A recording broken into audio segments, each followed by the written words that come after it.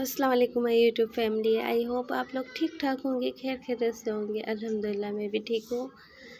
आज हम बनाने जा रहे हैं खड़वी। इसकी रेसिपी मैंने पहले ही डाल चुकी हूँ। आपको ज़रूरत पड़े आपको चाहिए हो तो आप आ, मेरी पिछली वीडियो में चले जाएँ उसमें की। और बहुत ही टेस्टी होती है। बहुत अच्छी होती है। खाने में बहुत टेस्टी होती है और हेल्दी भी होती है।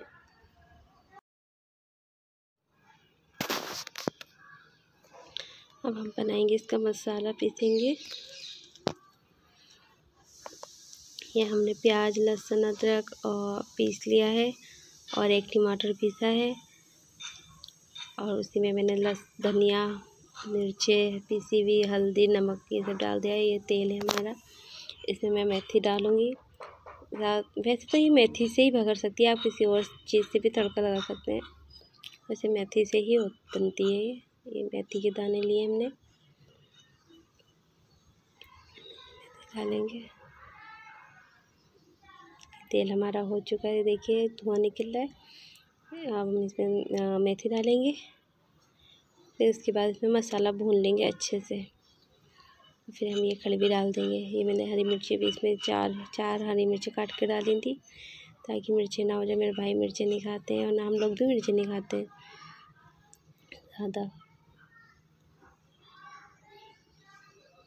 हमारा मसाला ये भून जाए, किनारे किनारे तेल जमा होने लगे तो समझ लीजिए हल्के हल्के नीचे लगने लगता तली में तो समझ लीजिए मसाला हमारा हो चुका है। देखिए इसमें हमने खटाई भी डाली है। इसमें आप तीन चार खटाई डाली है। मैंने एक डाली है क्योंकि हमारे वहाँ दो लोग हैं जो इसमें खटाई वटाई वाली कोई चीज़ नहीं खाते।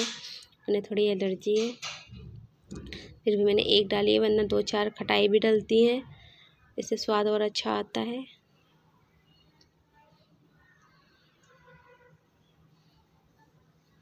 मसाला हमारा भून गया है।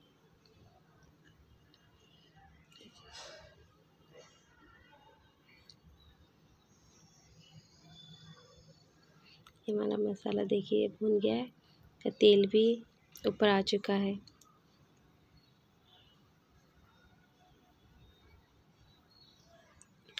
और ये इसमें हमने मसाला भून लिया। अब हम इसमें ना जो खड़बी हमने जो बनाई थी, वो खड़बी हम इसमें डाल देंगे और क्या कहते हैं, हल, पहले तो इसमें थोड़ा सा पानी डालेंगे, क्योंकि बहुत गाढ़ा हो जाता है ना मसाला, थोड़ा सा पानी डालेंगे, क्योंकि उसको भी अच्छे से खोलने देंगे पानी जब हो जाएगा, हल्का सा पानी डालेंगे और उसके बाद ये खड़बी डाल देंगे हम।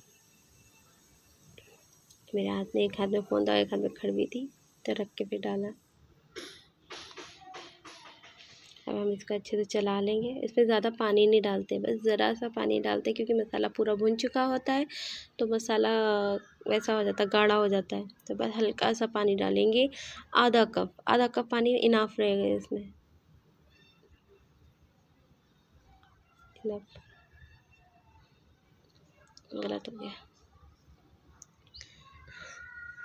आ, क्या कहते हैं इसमें हमने मसाले में इसमें मिला दिया और बस इसे हल्के हल्के हाथों से बस थोड़ा सा मसाले में लपेट देना था कि सब तरफ़ मसाला लग जाए सारी सब सारी जो बेसन की हमारी सब्ज़ी है इसमें सब में मसाला मिल जाए और बस इतना ही चलाना और ढक देना, बस पाँच मिनट। इसके बाद बस पाँच मिनट आपको इसमें बनाना और धनिया डाल देनी है।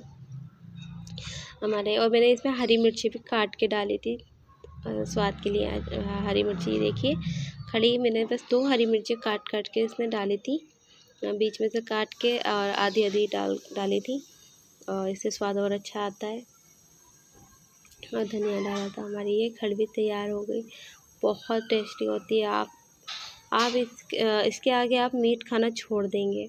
आपको मीट पसंद नहीं आएगा, आपको ये सब्ज़ी, बेसन की जो सब्ज़ी बहुत अच्छी बनती है, बहुत टेस्टी होती है।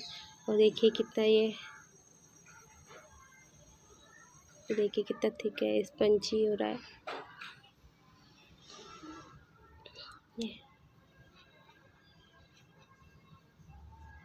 अच्छे से जमाने चाहिए, जैसे कि बर्फ़ी नहीं जमाते हैं, वैसे बेसन जमाना चाहिए। जब बेसन बहुत गाढ़ा होता है, कलछा चलने नहीं लगता है, तभी हमें उतार देना चाहिए और क्या कहते हैं, थाली में हल्का सा तेल लगा के हमें जमा देना चाहिए। और ये मैं यहाँ पर बेसन की बेसन की पकौड़ियाँ बना रही थी। ये पालक, प्याज की पकौड़ियाँ, ये आलू की पकौड़ी बनेंगी। ये हमारे पापड़ है। मेरी सब्ज़ी बन चुकी थी तो इधर अपना ये अलग काम स्टार्ट कर दिया था।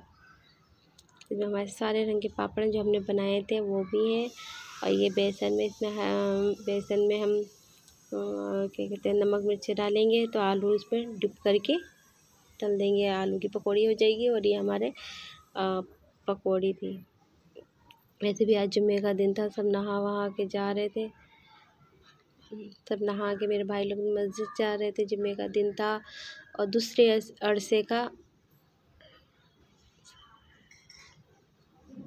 दूसरा जो जुम्मा पड़ा है, ये हमारा दूसरा जुम्मा है, सब जुम्मे को नहा वहा के जा रहे थे।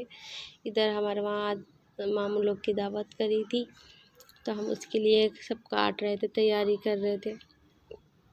बिरयानी का सामान काट रहे थे, यहाँ पकौड़ी का। ये हमारा छोटा भाई है, जो तैयार हो के आया। छोटा भाई जान आया, छोटा भाई जान आया, ये छोटा भाई जान बहुत थोड़ा एठू हुए। ये मेरे वीडियो में नहीं आ रहा था। फिर भी मैंने इसे चोरी चिपके वीडियो में ले लिया। हमारे दोनों भाई तैयार हो रहे वज़ू कर रहे हैं। इन्होंने सुरमा गिरा